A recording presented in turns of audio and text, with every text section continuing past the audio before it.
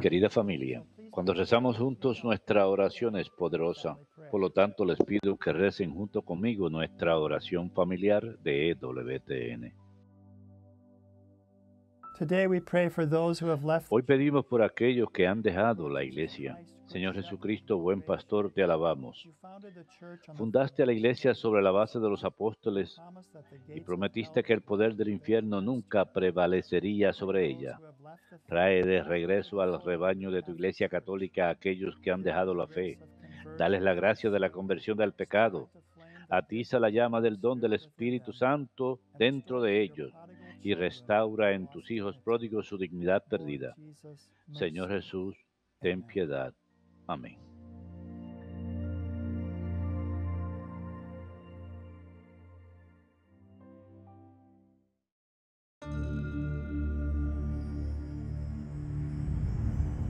Behold the Lamb of God, who takes away the sins of the world.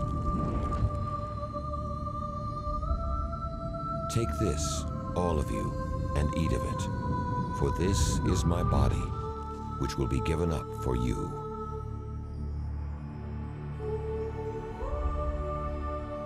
Take this, all of you, and drink from it, for this is the chalice of my blood.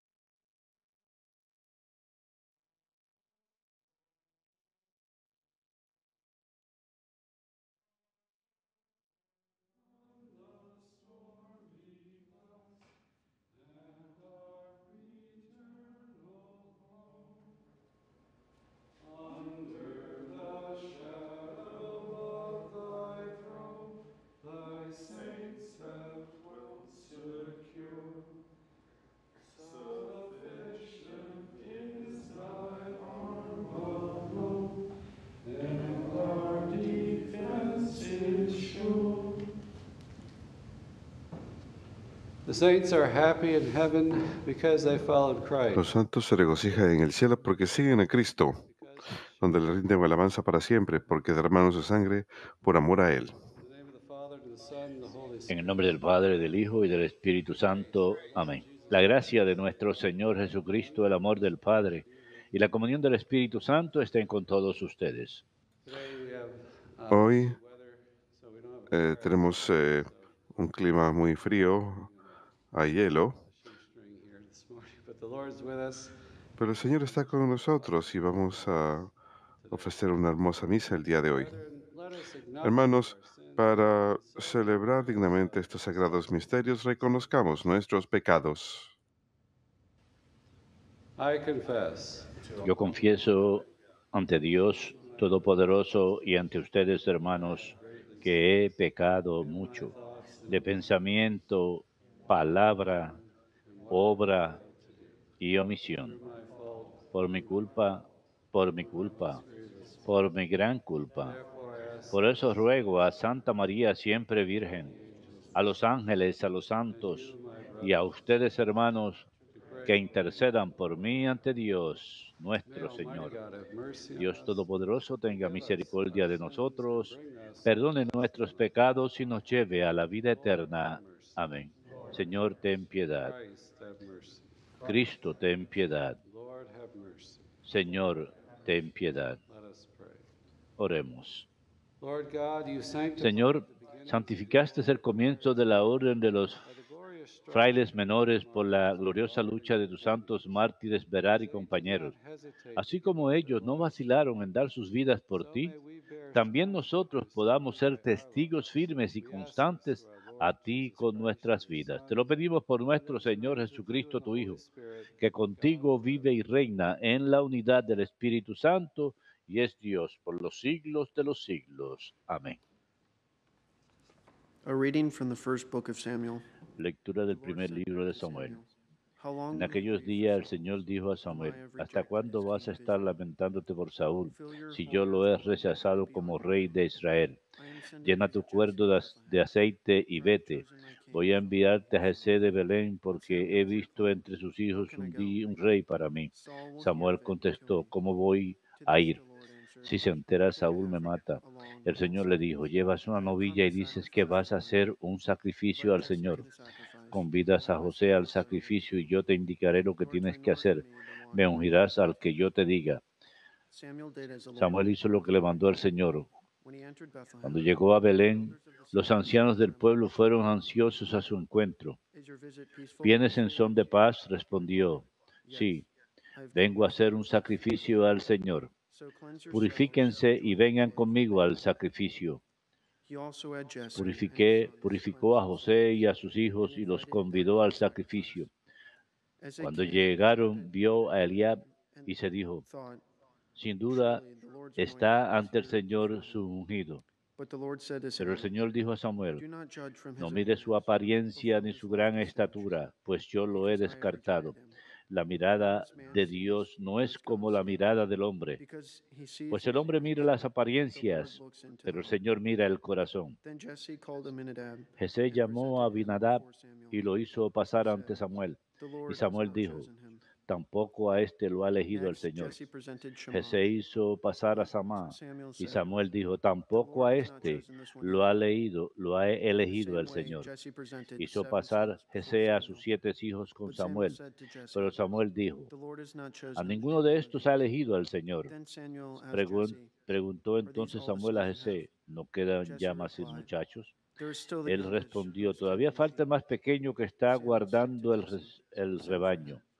Dijo entonces Samuel a Jesé, manda que lo traigan, porque no comeremos hasta que haya venido. Mandó pues que lo trajeran. Era rubio, de bellos ojos y hermosa presencia. Dijo el Señor, levántate y úngelo, porque este es. Tomó Samuel el cuerno de aceite y lo ungió en medio de sus hermanos. En aquel momento invadió a David el Espíritu del Señor y estuvo con él en adelante. Samuel emprendió la vuelta a Ramá. Palabra de Dios, te alabamos, Señor. I have found David, my servant. Encontré a David, mi siervo. Once you spoke in a Un vision. día hablaste en visión a tus amigos. He ceñido la corona a un héroe. He levantado a un soldado sobre el pueblo. Encontré a David, mi siervo. Encontré a David, mi siervo, y lo he ungido con óleo sagrado, para que mi mano esté siempre con él y mi brazo lo haga valeroso. Encontré a David, mi siervo. Él me invocará. Tú eres mi Padre, mi Dios, mi roca salvadora. Y yo lo nombraré mi primogénito, excelso entre los reyes de la tierra. Encontré a David, mi siervo.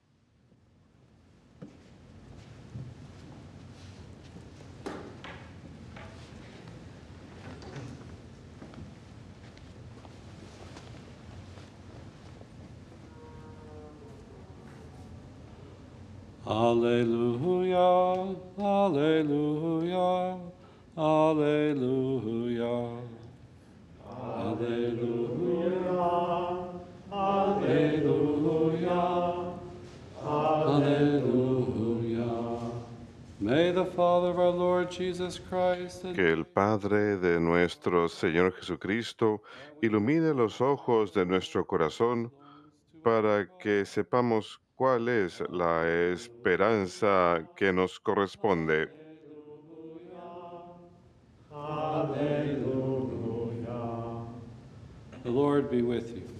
El Señor esté con ustedes. Lectura del Santo Evangelio según San Lucas, San Marcos.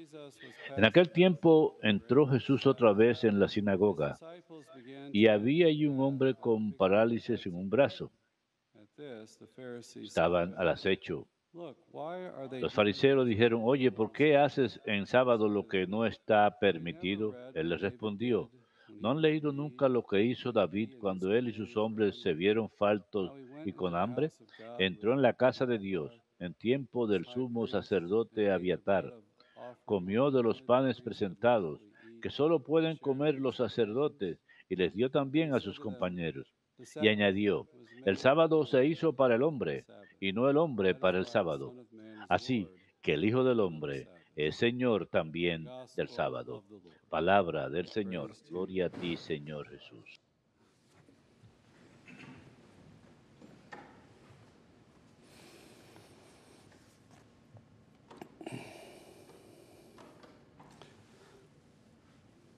Today,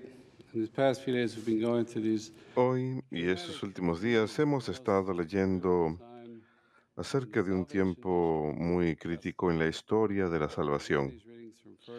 Tenemos estas lecturas de la primera, Today, el primer libro de Samuel y hoy escuchamos que Dios ha rechazado a Saúl, el primer rey, y va a elegir un rey nuevo y envía a Samuel. A la casa de David, a Jesé en Belén, para ungirlo. Y dice, he elegido a mi rey de entre los hijos de Jesé en Belén, y envía a Samuel ahí para ungirlo. Y la sorpresa, el giro, es que de los ocho hijos, el eh, más joven, David, es ungido rey. Él, él es el elegido de Dios. Uh, Tendría sentido que los hermanos mayores hubieran sido etc. más apropiados, con sabiduría, David. pero la decisión de Dios es David y les dice, los hombres miran la apariencia, pero Dios mira el corazón. Y le dice a Samuel, no mire su apariencia ni su estatura, porque el Señor ve God looks on the heart. No como los hombres, pues el hombre mira las apariencias, pero el Dios mira el corazón. Así que Dios ha rechazado a Saúl y está haciendo algo nuevo aquí. Saúl era un hombre alto, apuesto, un guerrero exitoso, e incluso se le contaba entre los profetas en cierto momento en las escrituras, pero tenía faltas, toma el papel de sacerdote, ofrece sacrificio, toma decisiones eh, irresponsables, no cumple la prohibición, el haram, que estaba supuesto a destruir a todos los amalecitas, y no cumple el mandamiento de Dios a través de Samuel. Así que vemos que a Saúl se le quita el reino de las manos.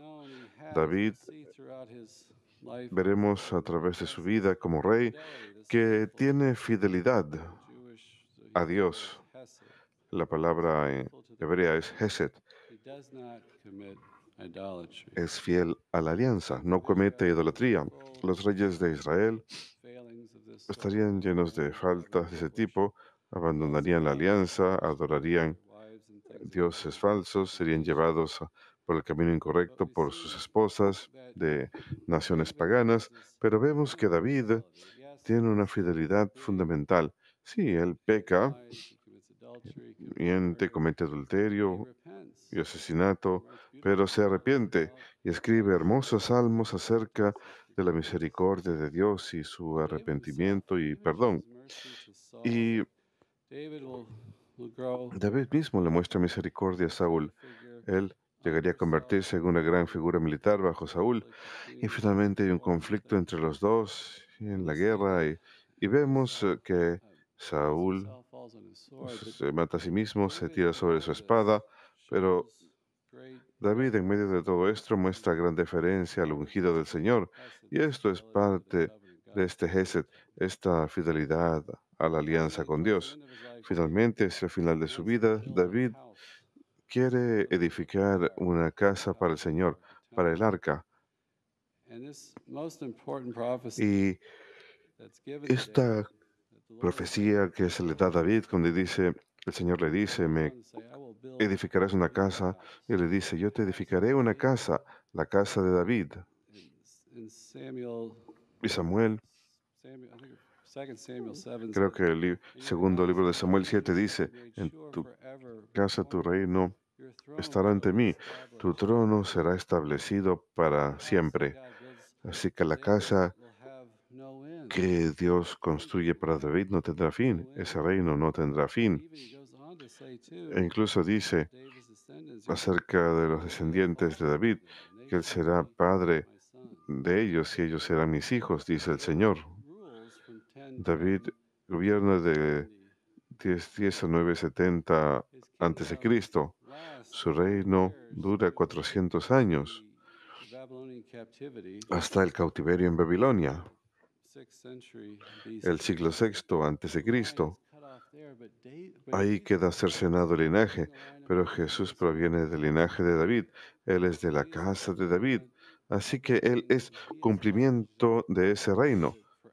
Él lo establece para toda la eternidad. Jesús mismo, el Hijo de Dios. El Hijo perfecto es el Rey perfecto y establece su reino.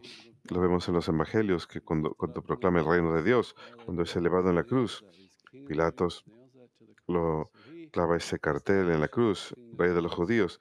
Él establece ese reino que durará para siempre. Así que en todo esto vemos eh, la gran debilidad humana, vemos la fortaleza de Dios. Y no puedo evitar pensar en San Pablo en la primera carta de los Corintios, capítulo 1, cuando dice, pues consideren su llamado, muchos de ustedes no son sabios según la carne, muchos son poderosos y nobles, pero Dios eligió a los necios del mundo para humillar a los sabios. Dios eligió a lo débil en el mundo para humillar a los fuertes. Dios elige lo que es humilde y detestado en el mundo, incluso cosas que no son nada para dar fruto.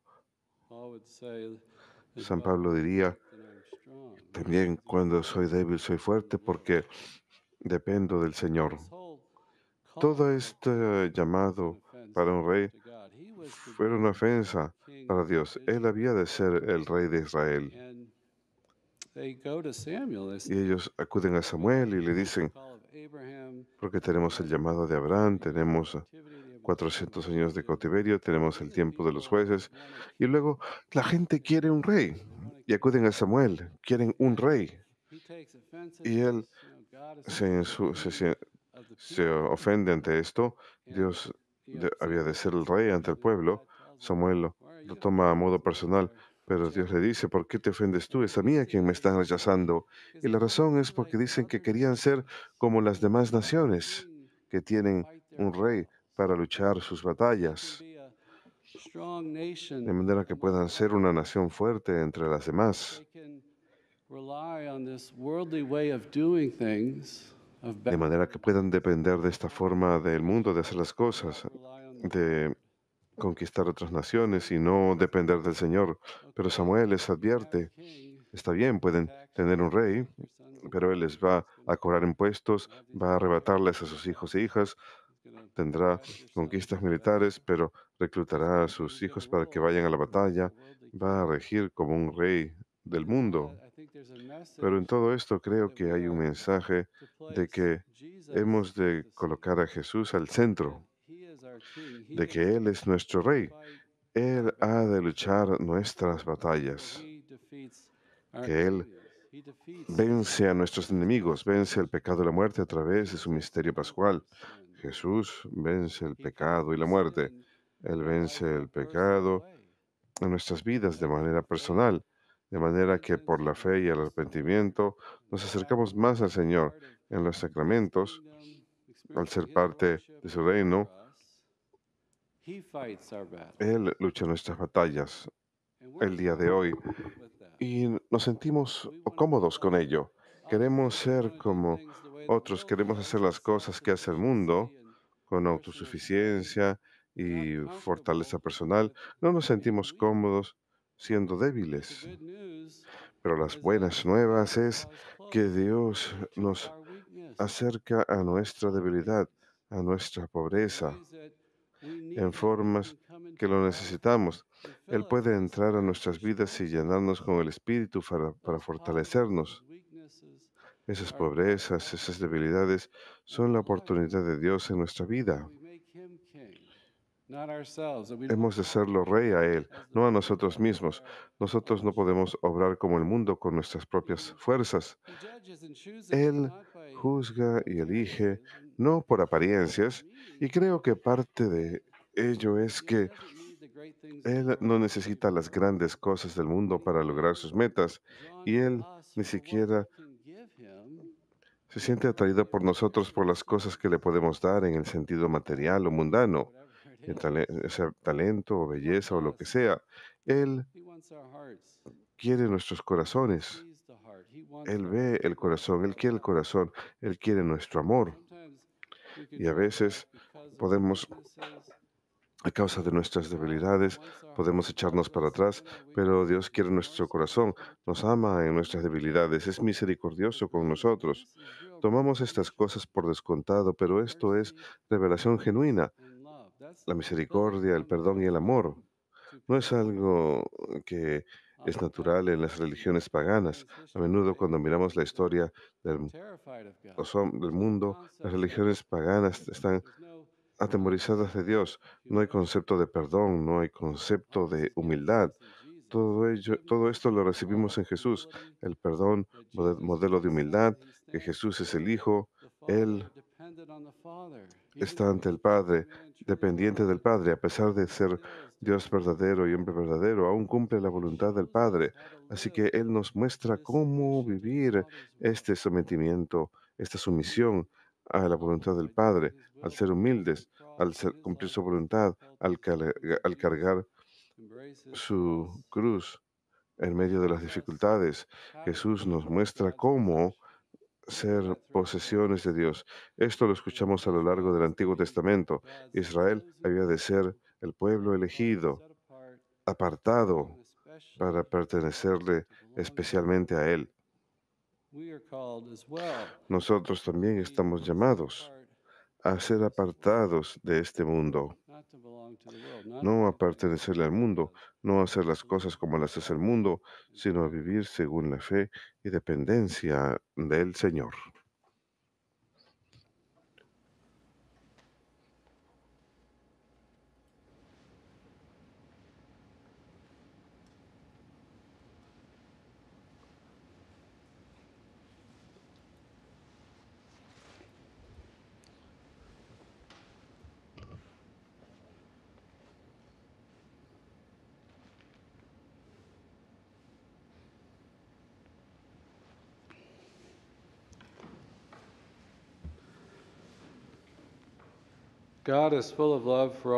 Dios está lleno de amor por todos los que llaman su nombre. Ofrezcamos nuestras peticiones con confianza plena, conscientes que seremos escuchados por nuestro Santo Padre, que el Señor lo guíe y lo dirija en su cuidado de todo el pueblo de Dios. Roguemos al Señor. por todos los sacerdotes, diáconos y religiosos que estén llenos con la alegría de la continua presencia de Dios en la Eucaristía, roguemos al Señor. Por todos los que se esfuerzan por defender la paz civil, que sean guiados por la sabiduría de Dios, roguemos al Señor. Que los artistas, escritores y actores usen sus talentos para defender a los no nacidos y todos los que sufren injusticia. Roguemos al Señor. Por los fieles difuntos, que por la misericordia de Dios en paz descansen. Roguemos al Señor. Señor, revelas tu poder principalmente por tu perdón y compasión. Llénanos constantemente con tu gracia mientras nos esforzamos por alcanzar las alegrías que nos has prometido en el cielo. Te lo pedimos por Jesucristo nuestro Señor. Amén.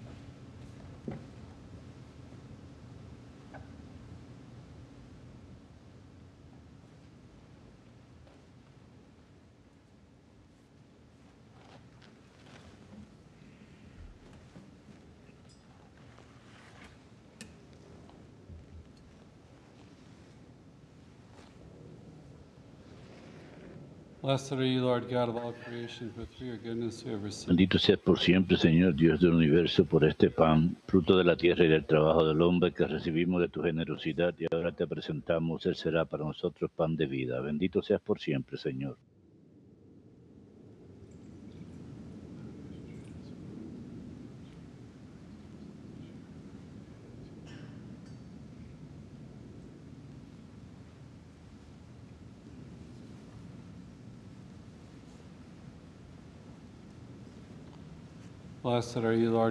Bendito sea, Señor Dios del universo, por este vino, fruto de la vid y del trabajo del hombre que recibimos de tu generosidad y ahora te presentamos. Él será para nosotros bebida de salvación. Bendito seas por siempre, Señor.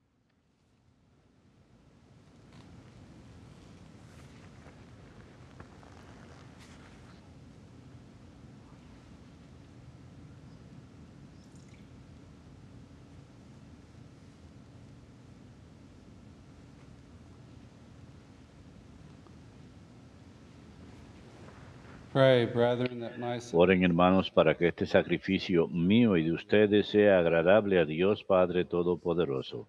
El Señor reciba de tus manos este sacrificio para alabanza y gloria de su nombre, para nuestro bien y el de toda su santa iglesia. Padre Santo, recibe las ofrendas que te presentamos en memoria de tus santos mártires, verar y compañeros Concédenos a nosotros, tus siervos, la gracia de ser tus testigos constantes. Te lo pedimos por Cristo nuestro Señor. Amén. El Señor esté con ustedes. Levantemos el corazón. Demos gracias al Señor nuestro Dios.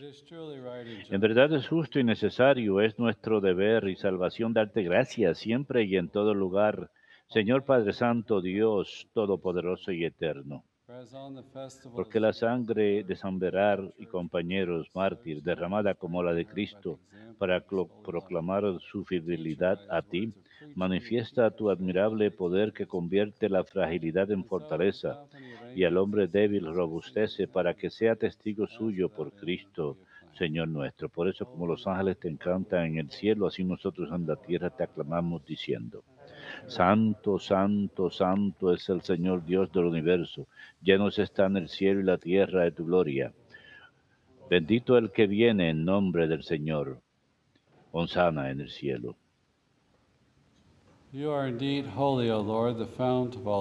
Santo eres en verdad, Señor, fuente de toda santidad.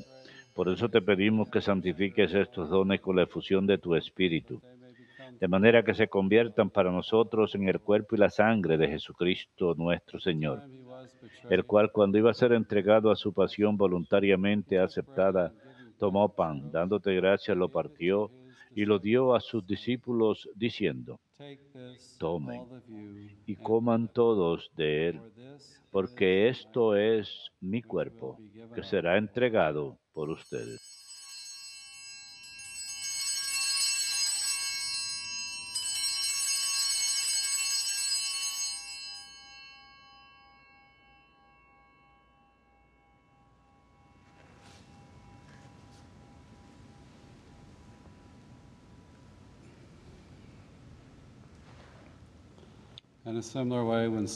Del mismo modo, acabada la cena, tomó el cáliz.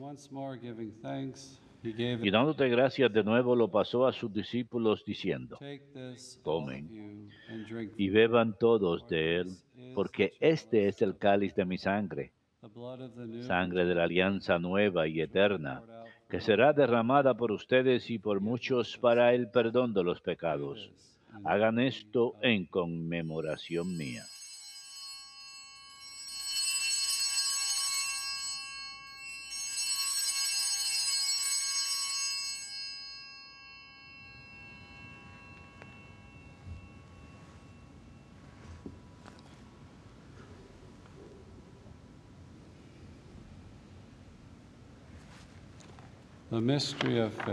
Este es el misterio de la fe. Sábanos, sálvanos, Salvador del mundo, tú que nos has liberado por tu cruz y resurrección. Así pues, Padre, al celebrar ahora el memorial de la muerte y resurrección de tu Hijo, te ofrecemos el pan de vida y el cáliz de salvación, y te damos gracias porque nos haces dignos de servirte en tu presencia. Te pedimos humildemente que el Espíritu Santo congregue en la unidad a cuantos participamos del cuerpo y la sangre de Cristo. Acuérdate, Señor, de tu iglesia extendida por toda la tierra y con el Papa Francisco, con nuestro obispo Stephen y todos los pastores que cuidan de tu pueblo, llévala a su perfección por la caridad. Acuérdate también de nuestros hermanos que se durmieron en la esperanza de la resurrección y de todos los que han muerto en tu misericordia, admítelos a contemplar la luz de tu rostro. Ten misericordia de todos nosotros, y así con María, la Virgen Madre de Dios, su esposo San José, los apóstoles y cuantos vivieron en tu amistad a través de los tiempos, merezcamos por tu Hijo Jesucristo compartir la vida eterna y cantar tus alabanzas. Por Cristo, con Él y en Él. A ti, Dios Padre Omnipotente, en la unidad del Espíritu Santo, todo honor y toda gloria por los siglos de los siglos. Amén.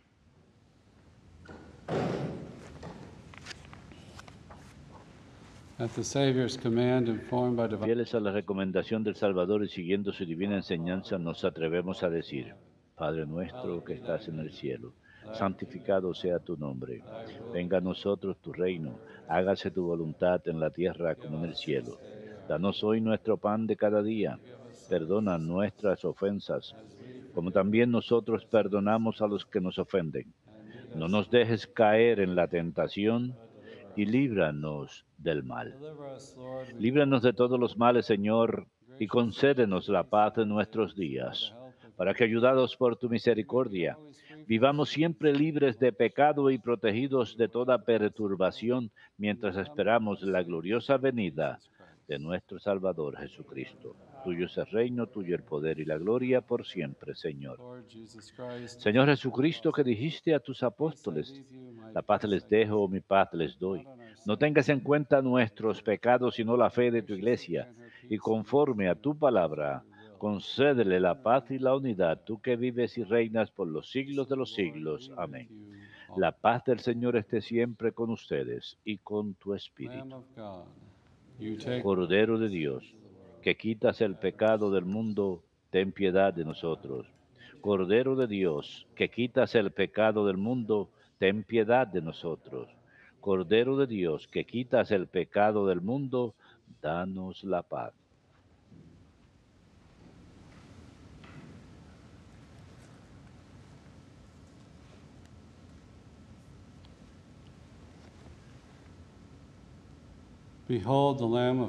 Este es el Cordero de Dios que quita el pecado del mundo. Dichosos los invitados a la cena del Señor. Señor, no soy digno de que entres en mi casa, pero una palabra tuya bastará para sanarme.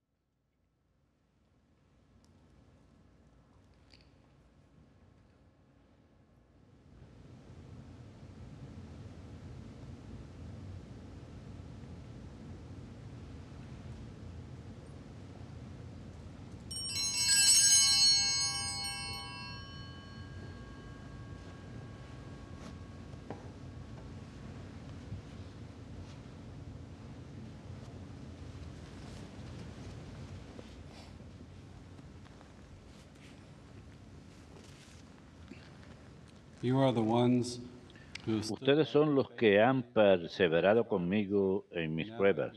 Yo por mi parte dispongo un reino para ustedes, como mi Padre lo dispuso para mí, para que coman y beban en mi mesa, en mi reino y se sientan sobre tronos. Para todos aquellos que no pueden recibir a Jesús en el Santísimo Sacramento, les ofrecemos la siguiente oración. Alma de Cristo, santifícame Cuerpo de Cristo, sálvame. Sangre de Cristo, embriágame. Agua del costado de Cristo, lávame. Pasión de Cristo, confórtame. Oh buen Jesús, óyeme. Dentro de tus llagas escóndeme. No permitas que me aparte de ti. Del maligno enemigo defiéndeme. En la hora de mi muerte, llámame y mándame ir a ti, para que con tus santos te alabe por los siglos de los siglos. Amén.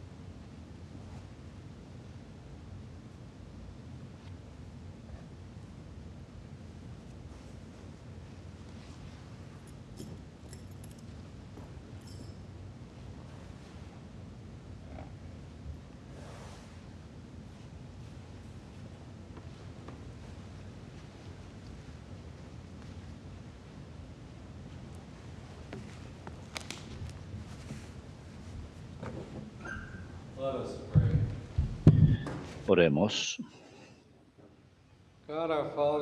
Dios Padre nuestro, en tus santos mártires nos enseñas la gloria de la Santa Cruz. Fortalece por este santo sacrificio nuestro deseo de seguir a Cristo fielmente y a trabajar en tu iglesia por la salvación de todos. Te lo pedimos por Cristo nuestro Señor. Amén. El Señor esté con ustedes. La bendición de Dios Todopoderoso, Padre, Hijo y Espíritu Santo descienda sobre ustedes. Vayan en paz. Demos gracias a Dios. Hymn number 461. Vamos a cantar el himno 461. Holy God, we praise thy name.